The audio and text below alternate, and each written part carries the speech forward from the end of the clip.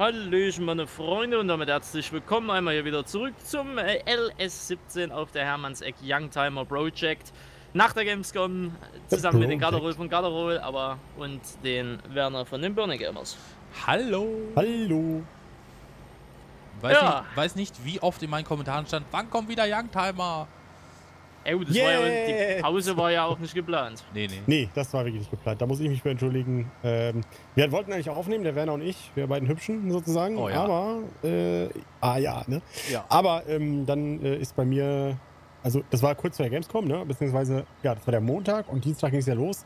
Und äh, da hat sich wieder bei mir so ein Windows-Update reingeschmuggelt, wo sich jetzt rausgestellt, das war gar nicht das Windows, sondern das Virenscan. Auf jeden Fall, es ging, das Internet ging nicht mehr. Dann hat er nicht mehr die Netzlaufwerke erkannt. Und wenn man dann mal Troubleshooting macht bei Windows, ihr kennt das. Oh. Und hätte ich dann noch den Werner noch irgendwo dazwischen geschoben, das klingt jetzt ein bisschen komisch. Äh, und ihr seht es ja auch bei mir im Sendeplan, es ist ja komplett leer, weil ich immer noch in der Uhr hänge. Also das hätte nicht hingehauen und äh, gestresst und so. Das Thema hatten wir häufiger schon mal, ne? So gestresst und wenn man weiß, das ist jetzt irgendwie das. Ne, man fühlt sich nicht, dann sollte man es lieber lassen. Und genau. da sind wir ja ehrlich und dann lässt man es halt. Äh, wo ich gerade am Reden bin, ich äh, hole uns mal gerade einen neuen Trecker und zwar hier. Den hier für den Hof. Das war nämlich ein Plan, äh, als wir die Trecker ausgesucht haben. Und da hieß es, ja, was nehmen wir denn ein für auf dem Hof rumzufahren, sauber machen, Frontlader hast du nicht gesehen und sowas. Und dafür haben wir diese hier eigentlich geholt. Und zwar in der klassischen Form hier. Mit Gewichtetträger ist, glaube ich, diese komische Schütt vorne dran. Das wollte ich auch mal ausprobieren. Frontladeraufbau. Werner, was ist denn Cut 3? Cut 3? Bei welcher Konfigurationsmöglichkeit? Frontlader. Ah, musst du gucken bei den Frontladern, ob da so eine spezielle Marke dabei ist oder sowas. Es gibt ja auch diese speziellen, nicht nur von Stoll, sondern auch von anderen Marken. Äh, vielleicht ist das im Mod-Package dabei gewesen. Haben wir von MF und von Stoll. Nee, glaube nicht. Okay, dann weiß ich nicht. So, Randy, ich bin da. Randy? Ja, ja, ne, muss ja jeden KI-Fahrzeug ausweichen. Ach so. Oder das KI-Fahrzeug rammt mich weg, je nachdem. Damit wir alle im Bilde sind, ihr verkauft gerade noch Bier, denn wir haben äh, Dingsbums haben wir, ne? Eine große Nachfrage, ja. So. Nehmen wir noch einen stärkeren Motor natürlich, dann nehmen wir Allrad. Aber wir sind in äh, weniger als zwei Minuten fertig, dann können wir nämlich ein bisschen vorspulen. So, dann ist noch die große Frage. Nehmen wir den Überschlagbügel oder nehmen wir eine Fritz-Meier-Kabine? Oh, eine Fritz-Meier-Kabine, unbedingt. Natürlich. Unbedingt. Achso, ich soll das abladen, Randy, okay? Ja. Es dauert länger als zwei Minuten. Das ja, ist richtig und dann können Sie mich vorne nochmal hochheben. Natürlich. Dann nehmen wir aber das Dach nur und nicht die Kabine, glaube ich. Das ist noch stylischer. Fritz, Fritz Meier Verdeck ist Klassiker. Aber nur das Verdeck? Ja. Also Cabrio ohne ein Mittag. Äh, aber warum ist die Hauptfarbe schwarz? Das weiß ich nicht. Geh mal auf Kaufen. Und wenn es jetzt abstürzt, dann haben wir wieder nicht aufgepasst beim Mod. Ist richtig. Es lebt noch. Da steht er. Alt. oh, Krieg nur gut Kohle, ne? Ja, ja, ja. Haben wir die echt freigegeben, die Mod? Aber gut. Möglich. Muss die mal eben umkonkurrieren, die, die, die, Hütte, die Hütte. Oh, der Sound! Sieht scheiße aus, oder wie, oder, oder was? Ja, die, die Kabine muss ich eben einmal tauschen. Ja, so. Aber der Sound. Oh, der Sound. Uh. Ich sehe schon, Garderol macht die nächsten Hofarbeiten alle freiwillig. Oh ja. So, das mit dem Gewicht, das hat man jetzt irgendwie anders geklärt, ne? Das wollten wir da hinten. Äh, warte mal. So. Ja, ich wollte aber nicht dazwischen quatschen. Ich muss sowieso mal eben nochmal umkonfigurieren und einen Frontlader noch kaufen. Wie viel Bier haben wir denn noch? Eine Palette noch. Das bringt mich zum Punkt, wie viele Themen haben wir denn noch? Genug, so. weil ja, man sagt ja immer. Sehr viele, oder? Weil nach der Gamescom ist ja bekanntermaßen immer vor der Gamescom. Ja. Und ich hatte mich ja wirklich mal eine Woche lang aus dem Internet, außer bei Instagram, Instagram. Äh, mich mal komplett rausgehalten, beziehungsweise wie jedes Jahr, weil mir einfach vor die Möglichkeit nicht äh, hergegeben wird, da irgendwie was zu machen. Wir haben zwar im Hotel WLAN, das ist so angeblich eine 100.000er Leitung. Problem ist halt nur, das WLAN geht erstmal nur über 2,4 Gigahertz und dann hast du auch immer so gefühlt ein, zwei mhm. Balken Empfang. Und dann sind dann in den Hotels nur wir 12, 13 Mann von Troubletown, die nutzen das Internet alle. Da ist eine 100k-Leitung dann auch nichts mehr wert. Mhm. Und ja, und ich sage mir immer wieder, bevor ich Scheißvideos hochlade, lasse ich es lieber und mach's dann halt erst am Wochenende und bin halt so. nicht der Erste. Ansage ist was?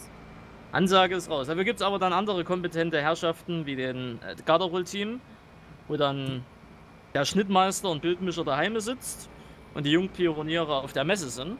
Und da kriegt man dann, wie soll man sagen, in einem relativ schnellen Tempo gute Videos. Ja, das sieht alles so einfach und schön aus, aber es war es nicht. Also, man sollte ja meinen, man hätte aus den ganzen Jahren was gelernt, aber man findet immer noch neue Dinge, aus denen man lernen kann. War das so freundlich genug formuliert? Das musst du deine Mitarbeiter fragen. Ich Nein, das vor Ort nicht schon. für dich gearbeitet. Also, es war sehr spannend, ja. Aber es hat auch wieder riesig Spaß gemacht. Äh, wir können spulen, by the way. Ja. Oh Gott. Iep? Da ist gerade Geld ab abgezogen worden.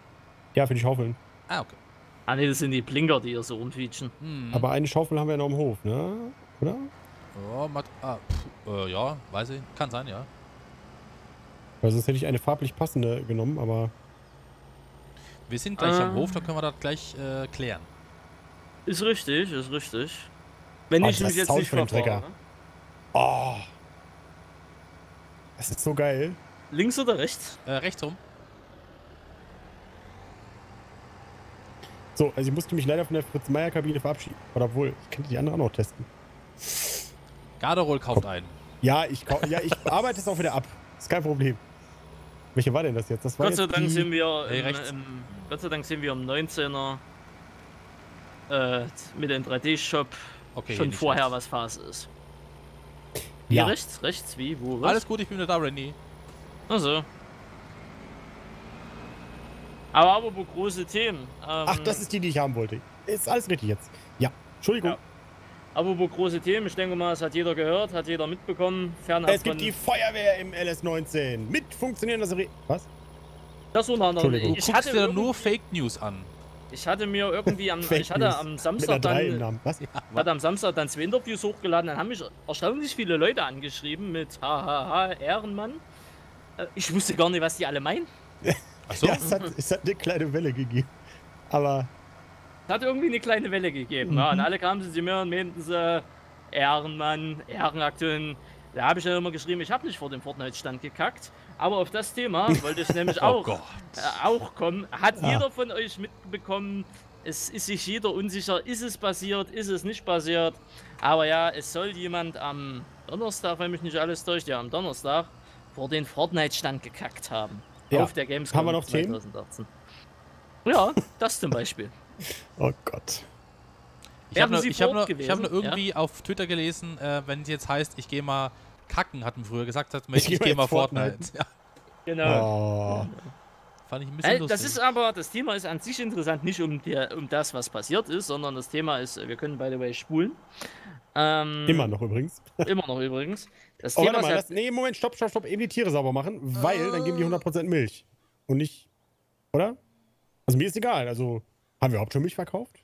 Kommt der LKW nachts oder? Da kommt der Auto, oh, der LKW kommt nachts. Oh. Genau, der Milchmann kommt immer um 3 Uhr morgens. Nee, komm, dann, na, dann lasst vorspulen, dann habt ihr zwar auch was zu tun. Ist auch doof. So. Außer gibt Gewitter, ne? Guck mal, da hinten, da sind oh, schon ja. Gewitterwolken. Oh, oh. Ne, das fliegt drüber, also das geht runter, das sind wir noch nicht fertig. Klappt mal einen Blitzableiter aus. Ja, packen Sie mal, packen mal einen Blitzableiter aus und setzt dich in den Traktor, ne? Leute, hier, der Sound kommt jetzt vorbeigefahren, hört euch den Sound Mann, an. Ich mach meinen aus.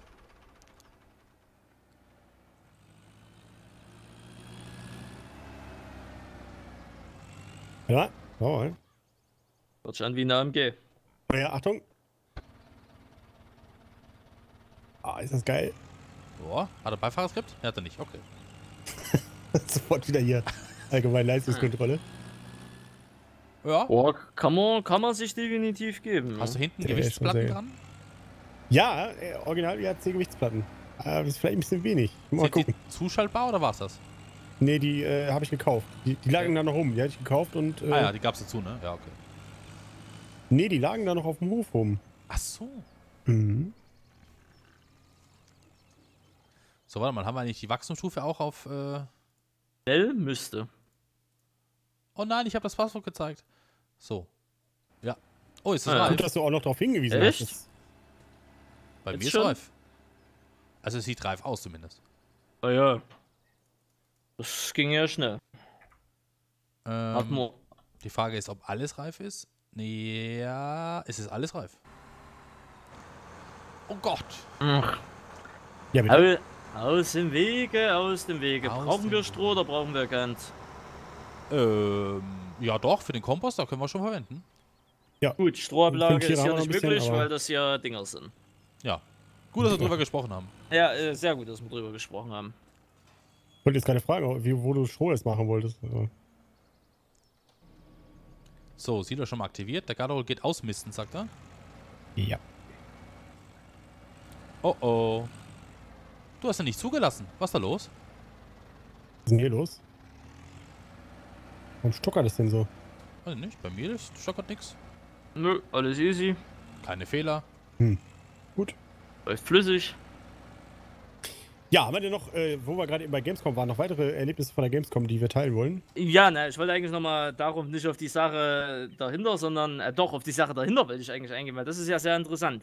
Es hat sich ja dann am Donnerstagabend relativ, also erstmal über Twitter relativ schnell verbreitet, ne? Ja, weil es kam, ja, es kam ja angeblich Screenshots dann von der Gruppe da mit diesen internen Mitarbeitern.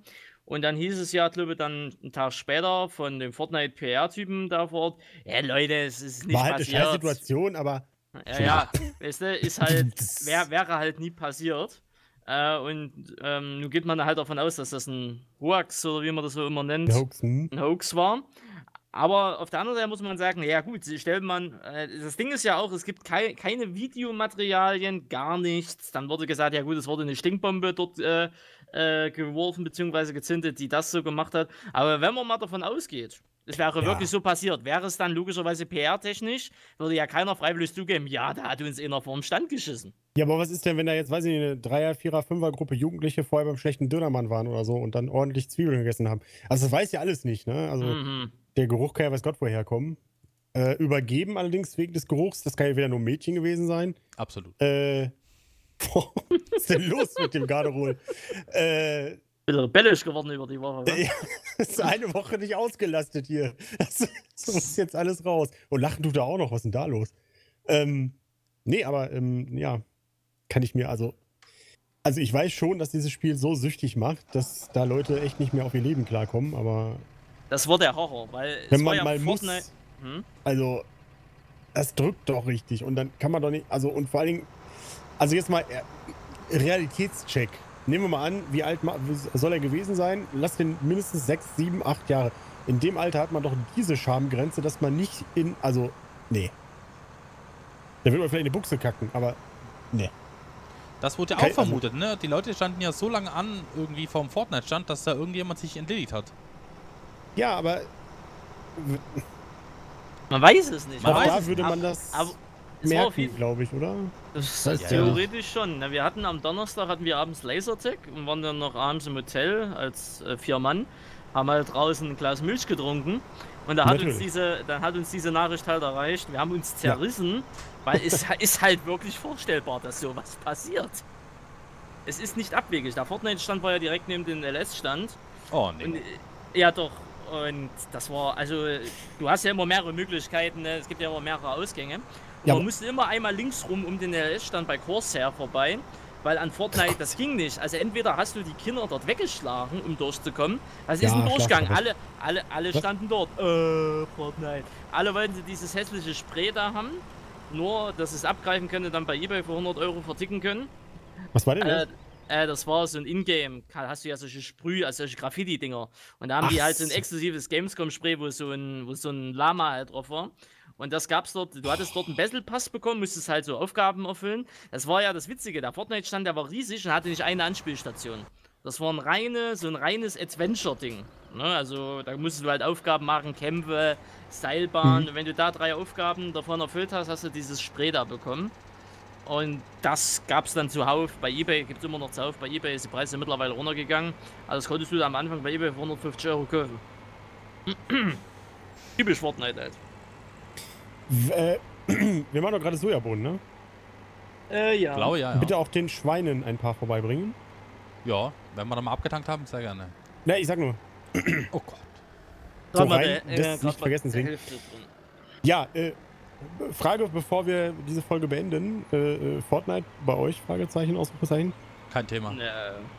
Hat immer ab und zu mal, aber auch ein Spiel, was mich absolut nicht reizt.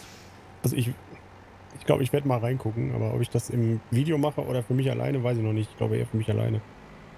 Glaube ich auch. Ich glaube, es ist besser so, glaube ich. Das glaube ich auch. Na gut, dann hat die Stunde schon wieder geschlagen, beziehungsweise die Viertelstunde. In dem Sinne, wir, wir sehen uns dann im nächsten Part äh, wieder. Däumchen da lassen, nicht vergessen, bei den anderen zwei vorbeigacken. Äh, genau. Ja, Und in, so, ja da haben wir es wieder, da haben wir es wieder. Und in dem Sinne, nicht vorm Start eine Fortnite-Stand kacken. Bis dann. Tschüss. Ja, in der nächsten Folge dann zum Thema, wo man bei anderen YouTubern noch vor die Tür kackt. Da gab es nämlich auch ein großes Thema. Tschüss. Tschüss. Tschüss.